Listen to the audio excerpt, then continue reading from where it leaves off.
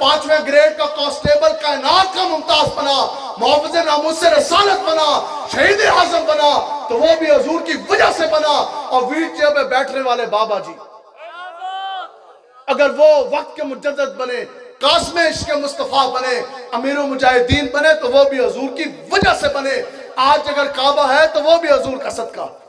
आज अगर मदीना है तो वो भी रसूला की वजह से है।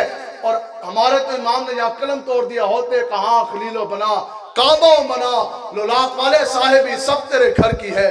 और मौला अली ने वारी तेरी नींद पर नमाज़, और वो भी असद जो सबसे आला खतर की है, बल्कि सदीक तो गार में जान उन पे दे चुके। और इफ्जे जान तो जान फरूजे हुरर की है। हाँ तूने उन्हें जान दी, उन्हें फेर दी नमाज़, पर वो तो कर चुके थे जो करने बशर किया।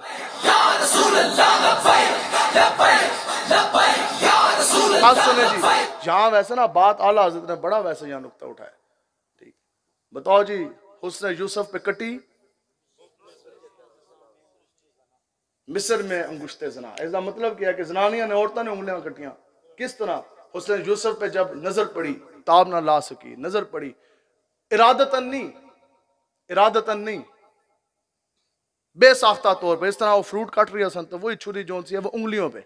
उसने यूसुफ पे कटी औरतों की उंगलियाँ। आला फरमांदन लेकिन जो गल आई हुस्न मुस्तफ़ा की, तेरे नाम पर सर कटाते हैं मर्दान अरब। कहते ने जो गल आई ना हजूर की तो फिर क्यामत तक हजूर के नाम पर हजूर के गुलाम अपनी गर्दनें कटवाना अपने लिए सादत और वैसे फख्र समझते रहेंगे। और इरादी तौर पर जानबूझ के कटवाते यार सुला थोड़ी इज़्ज़त की गल है, मेरी गर्दन हाजिर है। यार सुला थोड़ी खत्म नबूत की गल है, यार सुला अस्सी हाजिर है। बर फिर भी हजूर के नाम पर जान देना, ये कोई तजब वाली बात नहीं है। कोई तजब वाली बात है। हजूर के नाम का कलमा पड़ा हजूर के नाम पर जान दे दी। ये तो ईमान का हिस्सा है ना, कि उस वक्त तक कोई शख्स मोमिन नहीं हो सकता, जिस वक्त तक के माँ बाप दुनिया के हर रिश्ते, हर शहर से बढ़कर वो रसूल्ला से प्यार ना कर ले। हजूर के लिए, आका मौला हजूर सलाम के लिए जान का नजराना देना। हाँ ये करते तो वही है ना कि जिनको रब ये मनसब दे, शहादत का जाम पिए, और ये बड़े नसीब की बातें हर बंदा नहीं दे सकता। तो ये बहुत बड़ी सादत की बात है, लेकिन ये तजुब की बात नहीं है। तजुब की बात अगली है, जो आला हज़रत ने यहाँ फरमाई कि, मौला अली ने वारी तेरी नींद पर नमाज़।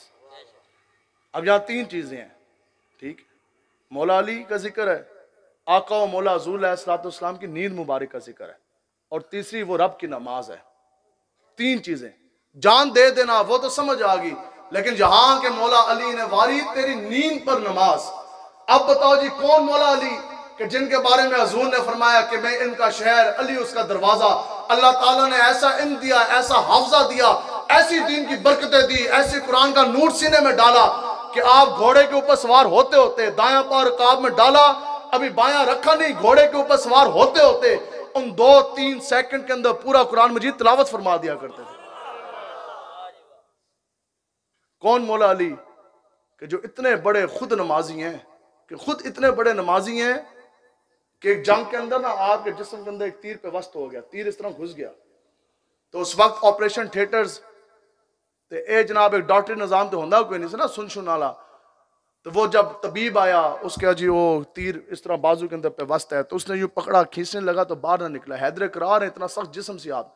उस दो हाथ पाए ना तो तीर छिकिया तो तीर बाहर ना निकला। तो अर्ज़ करने लगा, जनाब, अगर आप दरख्त या किसी सतून वगैरह के साथ इस तरह अपना जिसम, इस तरह कर लें तो मैं नाल एक दो बंदे और लेके आना तो फिर जनाब हम सारे मिल के ना वो तीर खींच लेंगे, निकाल लेंगे। तो आप मुस्कुराए, आपने फरमाया, यार इतने ज़ोर लान दी, जतन करने की क्या ज़रूरत है? आपने फरमाया, मैं अभी अल्लाह अकबर करके नमाज़ नीत लेता हूँ, तुम मेरा तीर निकाल देना। साहबा कहते हैं, हैदर करान ने नमाज़ शुरू की, अभी शुरू की थी, हालत क्याम में है इस तरह। तो उस तबीब ने इस तरह तीर पकड़ा तो तीर जिसम से ऐसे निकला जैसे मक्खन के अंदर से बाल निकलता है। ऐसे नमाजी हैं, और कैसे नमाजी हैं? हज़रत हैदर करार अली और मुर्तज़ा, शेर खुदा रज़ी तला कि इतने बड़े नमाजी, जहरी गल है, प्यो नमाजी होएगा तो पुत्र नमाजा पढ़ेगा ना। ऐसे नमाजी कि फिर उन्होंने सैयद शहदा इमाम हुसैन को कैसी नमाज़ सिखाई? कि करबला का सिरा है, ऊपर जनाब सूरज गर्मी फेंक रहा है, नीचे से भी जनाब तबिश निकल रही है, सिरा का एक एक करबो बुला का जर्रा, आज अहले बैत थार के खून से रंगीन है। पूरी हजूर की आल कटवा दी इमाम हुसैन ने। लेकिन असर की नमाज़, असर का सजदा कजा नहीं होने दिया। अब सर सजदे में है, असर की नमाज़ की अदायगी है, उस दौरान आपका सर जो सा आपको शहीद किया गया। बताओ जी, इमाम हुसैन है, वो असर की नमाज़ कजा ना होने दें, हजूर की पूरी आल को कटवा दें, फिर भी सर सजदे में रख दें। असर की नमाज़ उन्होंने जाने ना दी, लेकिन अजब बात कि हैदर करार ने अपनी असर की नमाज़ हजूर की नींद पे कुर्बान कर दी।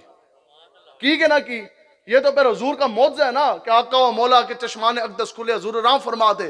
तो हजूर ने देखा, हैदर करार की नमाज़ तो असर की चली गई वो तो आका व मौला ने फिर हुक्म फरमाया तो फिर वो सूरज उल्टे कदम पलटा, डूबा सूरज दोबारा उभरा, असर का वक्त गया, दाखिल हुआ।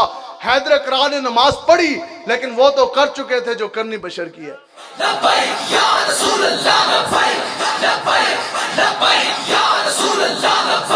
ये तो ये तो समझाना मकसूद था। हैदर करार ने क्यामत तक मुसलमानों को बता दिया कि वो सजदा रब की बारगाह में कबूल नहीं है, जिसके अंदर ताजीम मुस्तफ़ा ना हो। वो नमाज़, वो इबादत, खुदा की कसम इबादत नहीं है, जिसके अंदर ताजीम मुस्तफ़ा ना हो। हजूर जुम्मे का खुतबा इरशाद फरमा रहे हैं और मस्जिद नबी शरीफ है। आज हमें यही बताया जाता है ना बार बार और बात भी यही है। कहते नहीं जनाब, हरम के अंदर काबा में एक नमाज़ पढ़ें, लाख का स्वाब है। और मस्जिद नबी के अंदर एक नमाज़ पढ़े तो कितने का स्वाब है? पचास हज़ार का। लेकिन ये स्वाब उसको मिलेगा जिसके सीने के अंदर इसके मुस्तफ़ा होगा, जो हजूर की इज़्ज़त का पहरेदार होगा, जो बेगैरत बंदा है, खुदा की कसम, ये सियासत की दीसा वक्त हुआ तो मैं सुनाता जाऊँगा आखिर में। जो बेगैरत बंदा है ना, जिसके अंदर दीनी गैरत और हमीयत नहीं है, खुदा की कसम, उसकी नमाज़ कबूल नहीं होती। उसकी कोई इबादत जो सी है, वो कबूल नहीं होती। पूरी ज़िंदगी वो सजदों में गिरा रहे अल्लाह ताला की इज़्ज़त की कसम हजूर का अपना फरमान है। सियासत्ता की यह दीस है, एक इंसान पूरी ज़िंदगी वो रोज़े रखता जाए, ज़िंदगी वो चिल्लों में गुजार दे, रोजों में गुजार दे। अगर वो दीनी गैरत और हमीयत नहीं है, दीनी तौर पर अगर वो बगैरत है, उसका कोई सजदा कबूल नहीं है। कोई उसका सजदा कबूल नहीं है, कोई उसका पढ़ना पढ़ाना कबूल नहीं। ना नमाजें पढ़ना पढ़ाना कबूल है, ना दरस निज़ामें पढ़ना पढ़ाना कबूल है। ये सारी इबादत रब की बारगाह में तब दर्जा कबूलियत तक पहुंचेगी जब आपके अंदर गैर, दीनी गैरत और हमीयत होगी।